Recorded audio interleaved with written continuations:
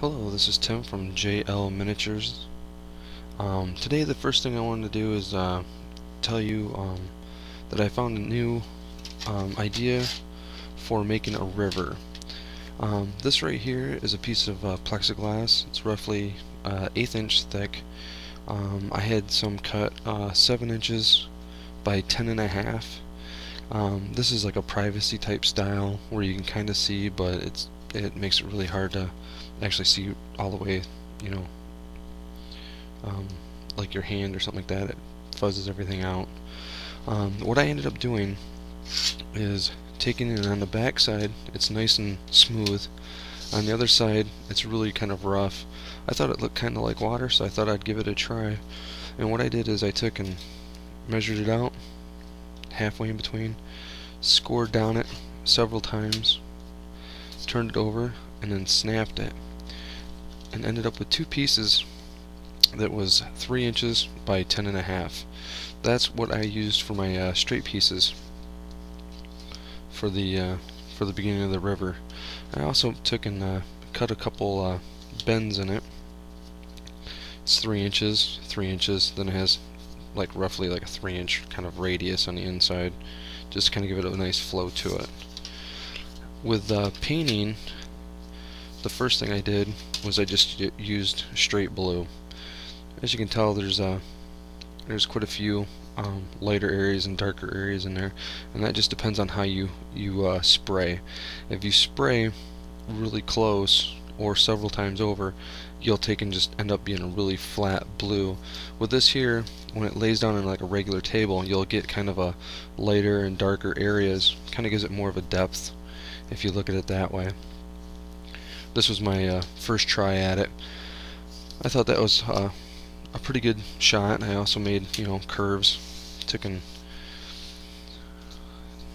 did the curves so they'd, they'd match up. Then I was thinking, you know, for fantasy, 40k, Warmachine, you know, it's a great idea, but, you know, three and a half inches might be a little bit um, too big for some people, or they might want just a little bit thinner of an area. So what I decided to do is, on my next try, um, to use multiple colors. As you can see there, um, there's a blue, there's kind of a yellowy brown, and then there's a brown along the very edges. I thought that gave it more of a like a creek or a small stream area, a river bank, and then it goes into the ground. On the back you can see that it's just brown right there. You have to paint this in reverse. So first thing you do is you'd spray your blue on you'd spray a yellow or whatever you wanted for the for the uh, the bank. And then I took and just sprayed brown and then I covered the whole entire thing. As you can see you know it's no longer transparent so it gives it a nice look to it. When you lay it out um, I also took and uh, I cut a pond. So people can you know if you want a pond or a stop area you can do that. I also made it to where you can go from one end of the board um, to the other and basically cut it in half. I've made you know corners on it, turns to where you can kind of join them up and then go from there.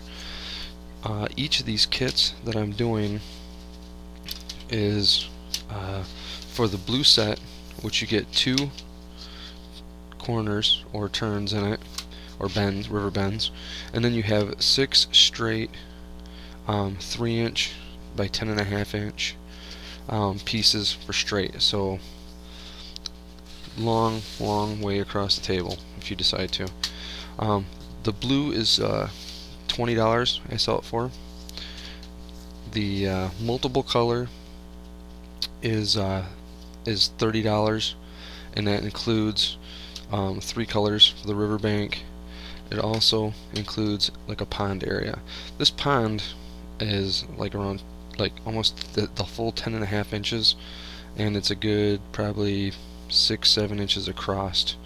So that kind of gives you an idea for size wise on that. Um, if you have any questions or any comments please post them. I'm always willing to listen and hear what people have to say. I took and uh, decided not to put any grass or anything like that along the edges. I know it's kind of on a shiny look to it, but when it's down onto a board, you know, like a green board or whatever you're using, it does look really nice. I decided not to put the grass or the rocks on there or the dirt just for, you know, movement and uh, durability. I mean, when you're taking and pressing miniatures over this and rubbing them over this, if it was painted, they'd be scraped off. Being painted on the backside, you got a lifetime of use out of this. This is one of the, you know, the nicer things.